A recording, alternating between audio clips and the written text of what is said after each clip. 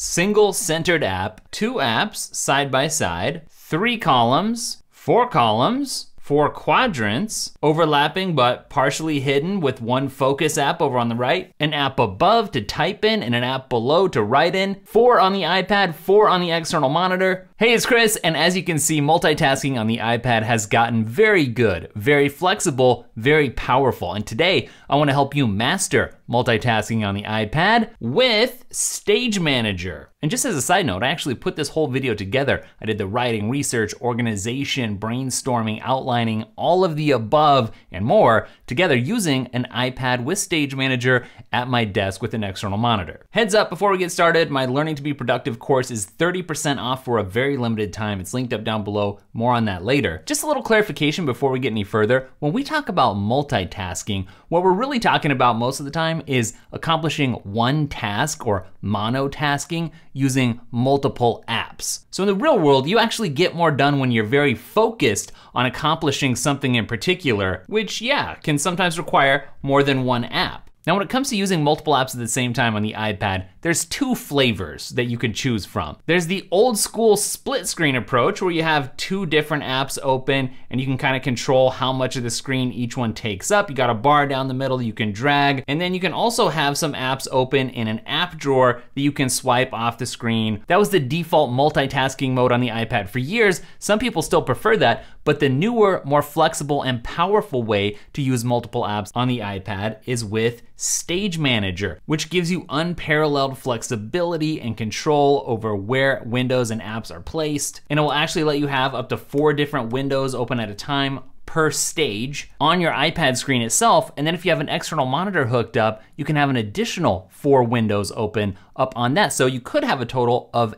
eight windows open with Stage Manager four on the iPad screen and four on the external display. And it's my preferred way of working with multiple apps on the iPad because it lets you be more efficient, organized, and productive versus split view, in my opinion. To enable Stage Manager, you're gonna open up settings, go to multitasking and gestures, and switch from split view and slide over to Stage Manager. Or you can also go to Control Center and add Stage Manager as an option there so that when you swipe down from the top right corner, there's a button that lets you turn Stage Manager on and off. You'll also be able to long tap on that button and turn off your recent apps from the left-hand side of the screen or the dock down on the bottom of your screen as well. With Stage Manager on, it's gonna be a more Mac-like experience where you can move windows around, resize them more or less however you'd like them to appear. And if you're wondering if your iPad is compatible, it's only an option on recent Pros and recent Airs. Specifically, the third gen 12.9 inch iPad Pro or later, the first gen 11 inch iPad Pro or later, or the fifth gen iPad Air. Now, if you wanna maximize your available screen real estate, there's basically three things you can do with Stage Manager.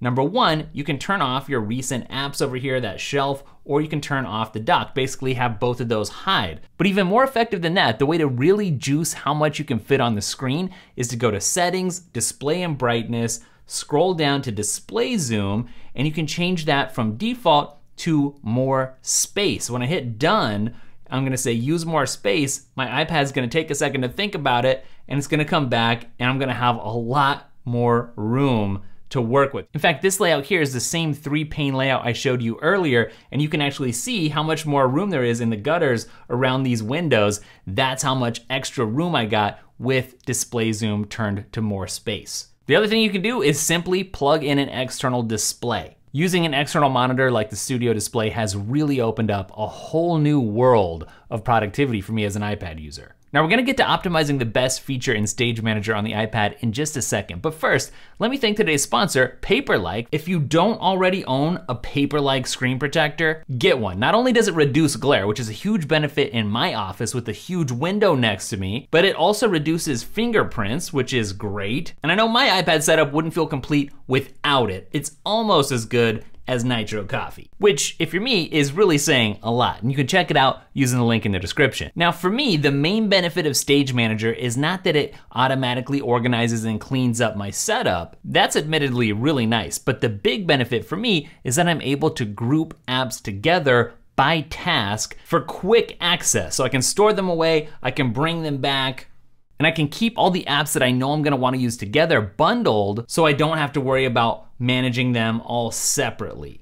And the reason that I feel like Stage Manager is a game changer, and I'll remind you, I've been a fan of it since it was announced, even though a lot of people really poo pooed it, is because it streamlines my work and it enhances my focus. I don't have to dip out of what I'm doing to switch context. I can quickly jump into content creation mode or research mode or entertainment mode without having to think too much about it. So instead of just opening up apps and kind of grouping stuff together randomly, just whatever pops into your mind, it's a much better idea to group apps together based on accomplishing a specific task. Like here, I had Safari open, I was doing some research, and I had a main app that I was typing in for an outline. I was also taking some notes over in this other instance of Apple Notes. So for instance, you could group all your project management apps together, all your content creation apps together, all your social media apps together. And the easiest way to do that is to launch an app and then drag another app out into the stage with it. Then when you switch to another group of apps, those will stay grouped together. Alternatively, you can go up and tap on the three dots at the top of any of your windows and say add another window, which will open up all your recent apps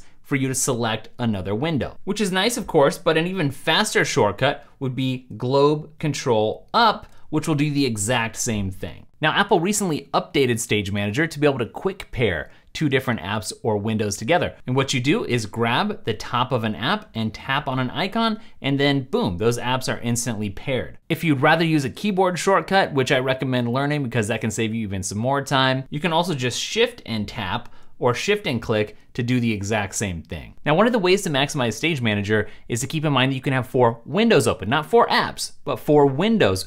Basically, you could have four instances of the same app open on your screen at the same time. So I have Apple Notes open here, and if I want to, I can drag out several of these notes and have them all on my screen at once. Another way that I could easily bring up another instance of the same app would be to long press on the icon in the dock and tap show all windows, which brings up a plus icon which lets me then open a new instance. Personally, I find that to be a little bit cumbersome though, and I much prefer to just hit that globe and down arrow key, which brings up the same interface and makes it a lot faster. Now, once you've got your apps all sorted into the proper groups, it's very easy to switch between them, but there's multiple ways. You can take your cursor and slide over past the side of the screen, and you'll see that your recent apps are gonna pop up, and you can easily just tap to open up a new group. That's nice, but I also like using a three finger swipe to go back and forth between my different apps and app groups very easily. Also for multitasking, you can just swipe your finger across the bottom of your screen